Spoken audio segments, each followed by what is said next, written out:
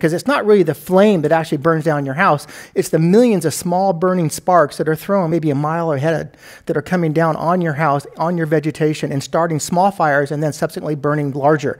So there's a lot of things like building materials. Another thing you can do is get to know your communities. You know, that's one thing that's a challenge because sometimes, you know, fires on top of you, we, as we hear, you can't just do something quickly, but maybe you got a 78 year old person next door that's not mobile. And then you have a plan that if fire comes, you're going to make sure you get them out. And maybe you got a neighbor over there with a small child. So you make a plan with your community that you can execute the plan when the fire happens versus trying to run around and do it at the, at the time.